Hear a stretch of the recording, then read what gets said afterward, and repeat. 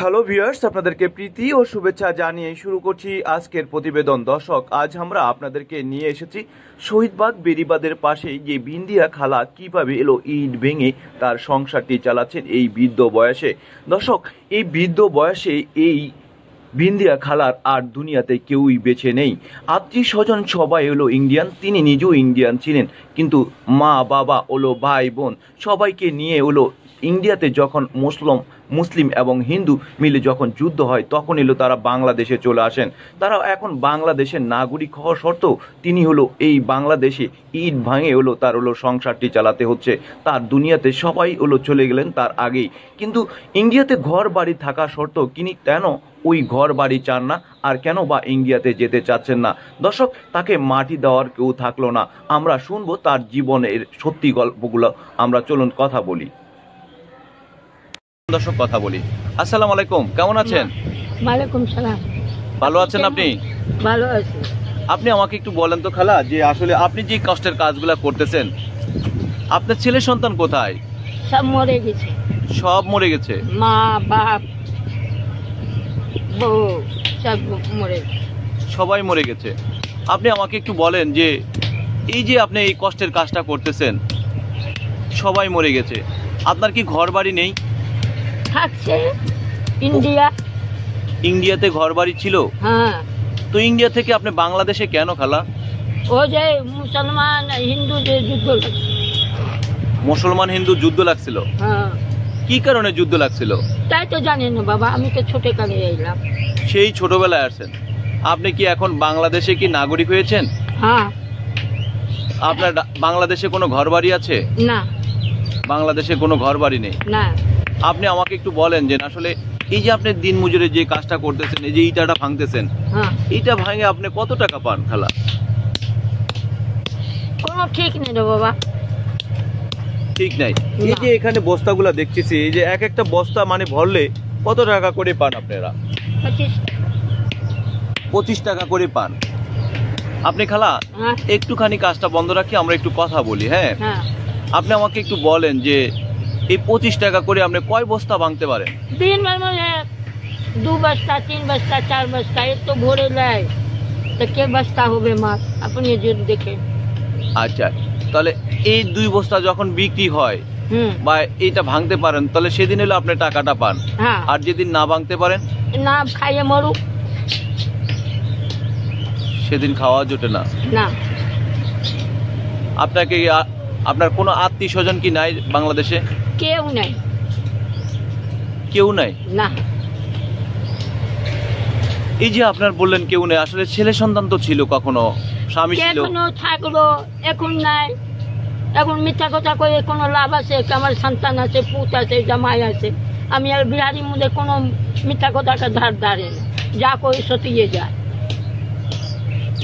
আচ্ছা খালা আপনি আমাকে একটু একটা বিষয় বলেন যে এই যে আপনি বাংলাদেশে যখন চলে আসলেন চলে আসার পর শত কত বয়সে চলে আসলেন? কতটুকু ছোট ছিলেন? এতটুকু। এতটুকু ছোট ছিলেন। আপনার কয়টা সন্তান ছিল? ছেলে মেয়ে কয়টা ছিল বিয়ে শাদির পর? তিন মাইয়া দুপোলা সব আজিমপুরে মাটি দিচ্ছে সবাই আজিমপুরে মাটি? এই যে আপনি যে কষ্টের কাজটা করতেছেন বলতেছেন যেদিন কাজ করতে পারেন সেদিন টাকা আছে আর যেদিন কাজ না করতে পারেন সেদিন টাকা নেই।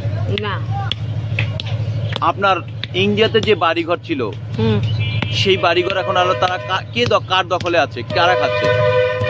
চাচা আছে মামু আছে আর কেউ তো একমাত্র আপনি মানে হলো পরিবারের ভিতরে বেঁচে আছেন? আর কেউ বেঁচে নাই? না। তো সেই সুবাদে আপনি ওই যে চাচাদের কাছ থেকে সম্পত্তিটা বিক্রি করে কি নিয়ে আসতে পারেন না টাকাটা? খাপ আর যাই কি করব? একটা পেট একটা যেদিকে রাতের দিকে খাই এখন মরে যাব তো সম্পত্তি কে খাবি? খাপ আমার চাচা। চাচি ভাই বোন। নাকি? মানে তারা খাক তাতে কোনো আপনার আপত্তি নেই? না কি জন্য উপস্থিত থাকতো। পোলাপান থাকতো তো উপস্থিত থাকতো।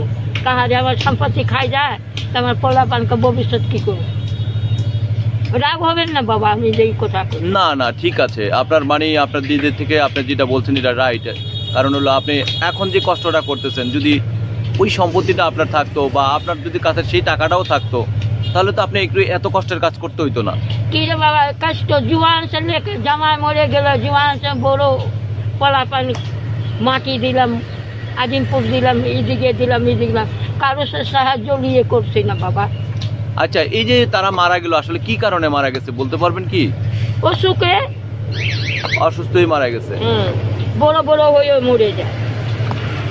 আল্লাহর দান এখন আমি কি করব কই?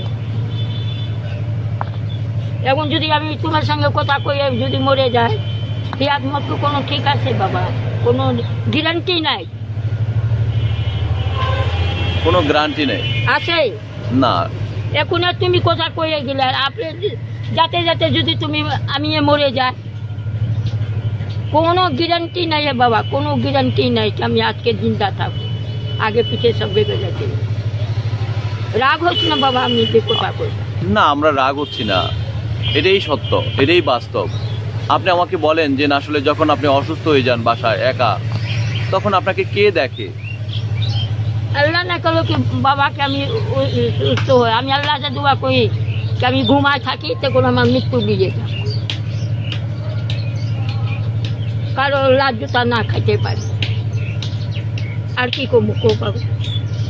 সবে তো হিস্ট্রি করিয়ে দিল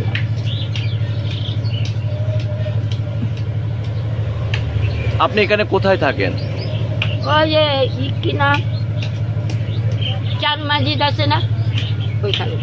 চান মসজিদ। হ্যাঁ এইদিকে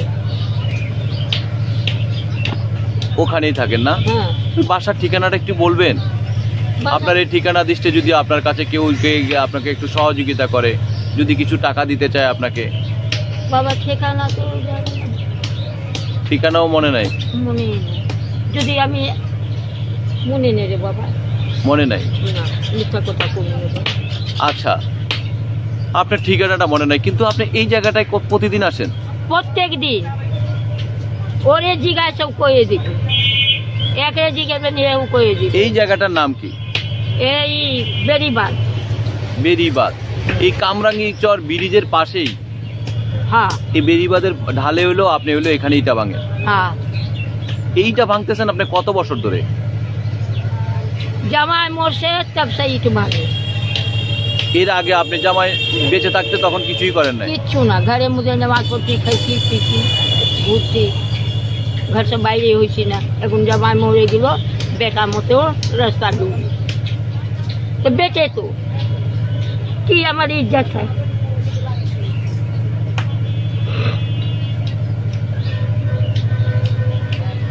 কি খারাপ না না আসলে কেউ চায় কি রাস্তা ঘুরু।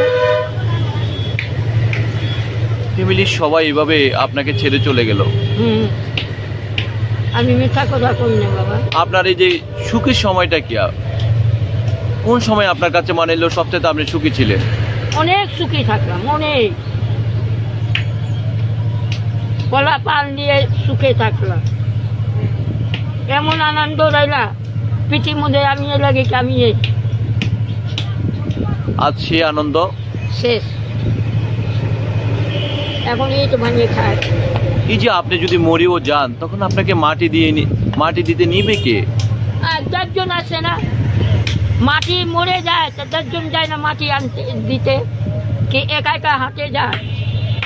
সেটা তো তার আত্মীয় স্বজন থাকে সেটা থাকে তার সন্তান থাকে নাতিপতি থাকে তারা হলো সেই মানে কাঁধে নিয়ে কাঁধে নিয়ে ওগুলো মাটি দিতে নিয়ে যায়। আপনি তো পোলা। ও তো মাইয়া উবি মাইয়া উবি নাতি উবি পোতা।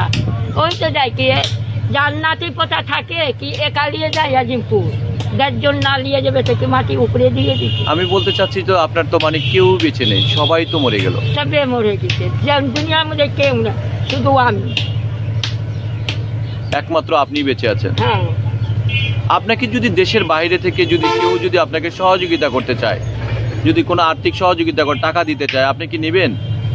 দিবে যদি দিবে কেউ যদি আপনার মানে আপনি যতদিন বেঁচে থাকেন খাওয়া দাওয়া আপনার ডাক্তারি খরচা সব কিছু যদি বহন করতে চায় তাহলে কি আপনি যাবেন? তাদের কাছে থাকবেন? তাই তো থাকতে না পারব না বাবা। কেন থাকতে পারবেন না? একটা কথা হলো কি এখানে সবে মানুষ আছে চীনা দুঃখ সুখ সবে দেখে বাবা রাগ হবেন না বাবা আমি আমি যে দুঃখ সুখের কথা বলছেন আপনি সেটা হলো সবাই কর্ম করে খায় সবাই দিন মজুর লোক। তাদের কাছে থাকতে আপনার ভালো লাগে। হ্যাঁ। তাদের কাছে থাকতে ভালো লাগে। কিন্তু হয়তো আপনার যে ঘরে আপনি থাকতেছেন সেই ঘর ভাড়াটা কত দিচ্ছেন? পনেরোশো। পনেরোশো। একাই থাকেন? না দুজন। দুজন থাকেন? দুজনে মিলে পনেরোশো টাকা দিয়ে ভাড়া থাকেন তিনশো তিন হাজার। তিন হাজার। আপনি পনেরোশো টাকা ভাড়া দেন। আর সে পনেরোশো টাকা। এই দুজনে মিলে থাকেন। হ্যাঁ। এই দুজনে যে থাকতেছেন আপনারা যে পনেরোশো টাকা ভাড়া দিচ্ছেন সেখানে তো মনে করেন যে না, একজন একজনের দেখাশোনা তারা আর কিছু থাকল না। কিন্তু আপনাকে যেখানে নিয়ে যাবে সেখানে তো আপনাকে দেখার মতন লোক আছে খাওয়ানোর মতন লোক আছে পড়ানোর মতন লোক আছে।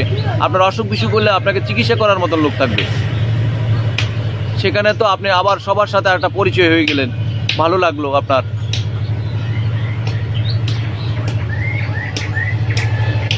সেই সুবাদে আপনার কি যাওয়ার ইচ্ছা জাগে কিনা? না রে বাবা। আপনি যেতে চাচ্ছেন না। আমার মন টানে না বাবা। আপনার মন টানে না। যা হোক আপনার যখন মন টানে না তখন সেখানে আর কেউ আপনাকে হলো হয়তো বা কেউ প্রশ্ন করতো বা জানতো। আপনার মুখে যখন শুনলো হয়তো তারা কেউ কিন্তু এই বিষয়টা প্রশ্ন নিয়ে আসবে না। তারা আপনাকে সহযোগিতা করারই চেষ্টা করবে যে যতটুকু টাকা পয়সা দিয়ে সহযোগিতা করা যায়। আপনি কি ইন্ডিয়া যেতে চান কিনা? আর? না রে বাবা আর যাব না। আর যাবেন না? না কেউ নাই আর যাইয়ে কি করব? মা থাকতো বাপ থাকতো স্বামী থাকতো তো যাইতাম। এখন যাইয়ে কি করব আর কে দিন বছু কো? আমরা সারা জীবন জানতাম যে মানে বাংলাদেশ থেকে হলো হিন্দুরা হলো ইন্ডিয়াতে চলে যায়। আর মুসল মুসলমান ইন্ডিয়া থেকে বাংলাদেশে চলে আসছে, আমার মতে এই প্রথম দেখলাম আপনাকে, যে তাও এমন অবস্থানে আপনি আছেন, যে মা, বাবা, ভাই, বোন এবং স্বামী, সংসার এবং ছেলে, সন্তান সবাই দুনিয়া থেকে চলে গেছে আপনার আগেই। আপনি একমাত্র বেঁচে আছেন। আপনার এই বাংলাদেশে এসে আপনাকে বাংলাদেশের মানুষ আর হলো ইন্ডিয়ান মানুষ, আপনার মা বাবার কাছে আপনি শুনছেন তারা ওখানে কতটা ভালো ছিল আর এখানে কতটুকু ভালো ছিল? এই যে দুঃখ উঠাইতে আসি আর কি করব? স্বামী থাকছে সুখে থাকছে। আমি জানতে চাচ্ছি এটা আপনার মা বাবা যখন ইন্ডিয়াতে ছিল সেখানে কি অত্যাচারগুলো হয়েছিল আপনাদের উপরে? ওই যে না হিন্দু মুসলমান রাইট লাগছিল হিন্দু মুসলমান। আপনি জানেন যে আগে মানুষ জানে। এটা অনেক আগের কথা। অনেক আগের কথা। আপনি কি মানে বলতে পারবেন মানে কত সালে হবে কত বছর হবে? তাই জানি না বাবা করলাম না এতটুকু আমার মালি আছে। আপনার এখন কত বয়স চলে? পঞ্চাশ নেতে ষাট। পঞ্চাশ ষাট তো হবে না হলে আর একটু বেশি হবে। ষাট? সেটাও বলতে পারছেন না। আপনার আমি আপনার ভোটার আইডি কার্ড আছে? আমার বোঝাতে কাঠ মুদাই আছে চল্লিশ বছরে। এই মোটি অনেক মানে স্বাস্থ্য টাস্থ্য ভালো ছিল। হ্যাঁ। দর্শক আমরা আপনাদেরকে? এই বিন দিয়া খালা মানে কতটা কষ্টের মধ্যে কাটছেন। সত্যিকারীর অর্থে চিনি হলো এই ভাঙছেন আর হলো যেদিন টাকা পাচ্ছেন সেদিনে খাওয়ার সুযোগ পেলে। সত্যিকারীর অর্থে দর্শক, এই বিন্দিয়া খালার কিন্তু আর কেউ নেই দুনিয়াতে বেঁচে। তিনি হলো ইন্ডিয়ার প্রবাসী, ইন্ডিয়ান হলো জন্ম, আর মা বাবা হলো ইন্ডিয়ান ছিল। কিন্তু বাংলাদেশে এসে হলো তারা হলো নাগরিক হন এবং বাংলাদেশে তিনি এখন বর্তমানে নাগরিক হওয়া সত্ত্বেও ইন্ডিয়াতে ঘর, বাড়ি সব কিছু রয়েছে। কিন্তু তিনি আর যেতে চাচ্ছেন না যে কে খাবে।